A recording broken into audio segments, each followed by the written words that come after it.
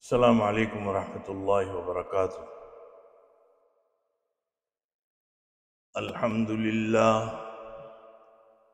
الحمد لله نحمده ونستعينه ونستغفره ونؤمن به ونتوكل عليه. ونعوذ بالله من شرور أنفسنا ومن سيئات أعمالنا من يهده الله من يهده الله فلا مضل له ومن يضلله فلا هادي له ونشهد أن لا إله إلا الله وحده لا شريك له. ونشهد أن سيدنا ونبينا ومولانا محمدا عبده ورسوله. صلى الله تعالى على خير خلقه محمد وآله وأصحابه أجمعين.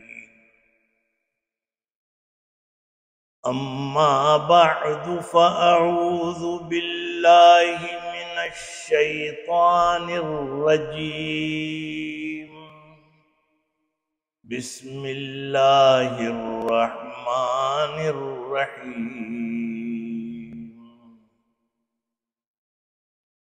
قل أعوذ برب الفلق من شر ما خلق ومن شر غاسق إذا وقب ومن شر النفاثات في العقد ومن شر حاسد إذا حسد. صدق الله مولانا العظيم. وصدق رسوله النبي الكريم. ونحن على ذلك من الشاهدين والشاكرين والحمد لله رب العالمين Respected elders, my dear brothers and sisters in Islam, according to the lunar calendar, Today is 15th of Jamadiul Ukhra and the year is 1445 Hijri. And according to the solar calendar, today is 29th of December and year is 20, 2023. 2023.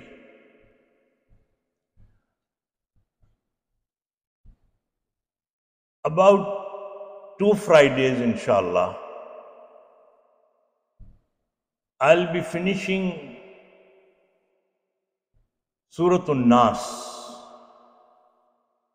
Today I will finish the tafsir of Surah Al-Falaq and in two Fridays I will finish Surah An-Nas. And we will have those two Fridays in Jamadiul Ukhra. And there are only two days left in having a new year, a solar, according to solar calendar. It may be in our practice the solar calendar is is need.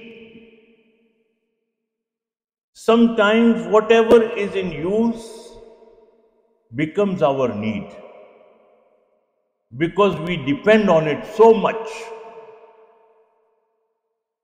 that we leave our own values. When we didn't have a mobile phone, we used to memorize the numbers. You say Fala, you will say his number is this. But when we have got mobile in use, we don't need to memorize it. If your mobile is gone, probably oxygen is cut off. I went to Brisbane. Before I went there, I asked him, I said, would you be providing some oxygen for me? He said, he said, are you all right, Maulana? Is your health okay? I said, I'm talking about Wi-Fi. He said, oh, okay. This is the need. Similarly, when we are going according to the solar calendar, it is everyday use. So anyway, two days for New Year, a Muslim should always wish every Muslim, every time they meet and they see off, they wish them well. Every time we see some, we say Allah Hafiz or take care, whatever. All those greeting and seeing off words, they are in practice. May Allah give us new year with the good news, inshallah, as per our iman, the strength of our iman, and our practice about Islam. May Allah give us tawfiq.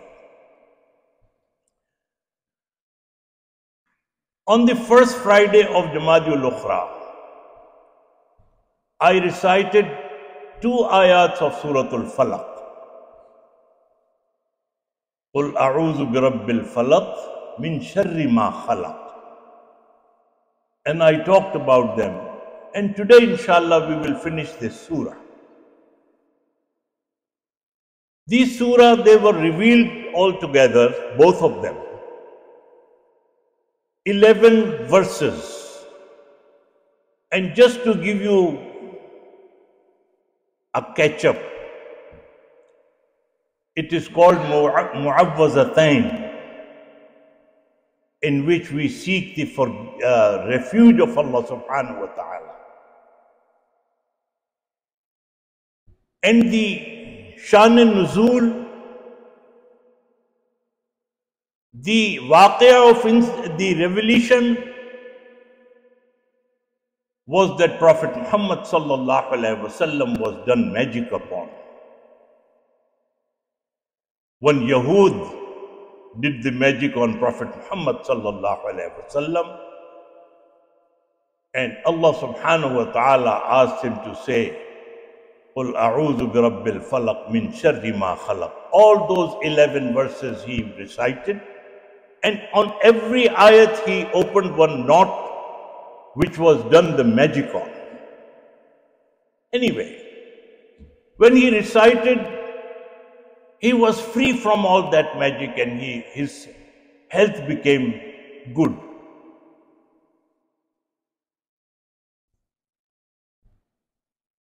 Min sharri ma khalaq. I talked about that everything which Allah subhanahu wa ta'ala created, we ask refuge of Allah subhanahu wa ta'ala from the shar of each and everything. As I said that there are three kind of makhluk Allah subhanahu wa ta'ala created. One makhluk is only khair, no shar. And that is angels and Anbiya Ikram alayhim salatu wassalam. And the others are only shar, no khair. That's Iblis, Shaitan. And these are, they have got shar, no khair. And the third makhluk is everything Allah subhanahu wa ta'ala created, insan. It has got shar and it has got khair. It is the murakkab and the composition of both shar and khair. We are asking for the refuge of Allah subhanahu wa ta'ala from the shar of everything you create. Min sharri ma khalaq. May it be any inconvenience given by insan, any inconvenience given by any animal, any inconvenience given by any kind of beast or whatever. Hasharatul ard. We, we seek for the refuge of Allah subhanahu wa ta'ala. Apart from this, Allah subhanahu wa ta'ala mentioned three things especially. See, min sharri ma khalaq, whatever Allah subhanahu wa ta'ala created, we seek the refuge of Allah subhanahu wa ta'ala from the shar of everything. But especially Allah subhanahu wa ta'ala mentioned three things. फरमाया कि वह मिन शर्र गासिकिन इजा वक़ब when the darkness Ya Allah, we seek refuge of yours from the darkness when it overspreads. Ghasiqin iza waqab. And that is the time. Usually all those magicians, you know, when they do magic and when they do some amaliyat shaitan, they do all of them in that darkness There most of the, they meet shaitan in the darkness. وَمِن شَرِّ غَاسِقٍ إِذَا وَقَبْ means, Ya Allah, we seek your refuge from the darkness when it overspreads. That means that time is very crucial, especially when those magicians and those amal shaitan are in pro- progress. And what we think darkness is, only we think that if the sun sets, the darkness starts. There are so many darkness we know nowadays. See, one is apparent darkness, which when the sun sets and the darkness starts. The other one is darkness of thoughts. Everything you see, if you look at the dictionary and the meaning of darkness, what will you get? You will get oppression, violence. These all shaitani amal everything what goes on in the for example fisco fujur and every masiyat every sin that is darkness darkness of light and darkness of thoughts what we do every shar we, we say like aqaid, some aqaid are getting corrupted. That's darkness. Hukum not obeying Allah subhanahu wa ta'ala order, that is darkness. And there is one, as I said, apparent darkness, and the other one is the darkness of aqaid. Every time we come to this stage, we should ask refuge of Allah subhanahu wa ta'ala. Allah subhanahu wa ta'ala said, whenever you come in darkness, just call me. Hazrat Yunus alayhi salam, everyone probably knows that he was in the in the fish stomach he was for a long time. But what did he do? फरमाया कि फनादा फिजुलमाति अल्लाह इलाहा इल्ला अंत सुब्हानक इन्नी कुन्तु मिनज़ ज़ालिमीन He called Allah subhanahu wa ta'ala. in the darkness of fish. See what happened? Can you imagine someone is in the fish? What would it be there? Just think of its smell. It is so easy to say that in the fish, but just imagine what kind of situation he would have been. And in that situation, he is calling Allah subhanahu wa ta'ala. and Allah subhanahu wa ta'ala as soon as he called Allah subhanahu wa ta'ala فرمایا کہ فَاسْتَجَبْنَا لَهُ وَنَجَّيْنَاهُ مِنَ الْغَمِ اللہ سبحانہ و تعالی ریلیز ہم فرم دیا this is اللہ سبحانہ و تعالی that is darkness Every time we come into a darkness or in the situation like that, we should call Allah subhanahu wa ta'ala. We should ask the refuge of Allah subhanahu wa ta'ala. See, from the shaitan, Allah subhanahu wa ta'ala would have said, fight with it. No. Allah subhanahu wa ta'ala said, say, A'udhu billahi minash shaitan rajim. Ask my refuge.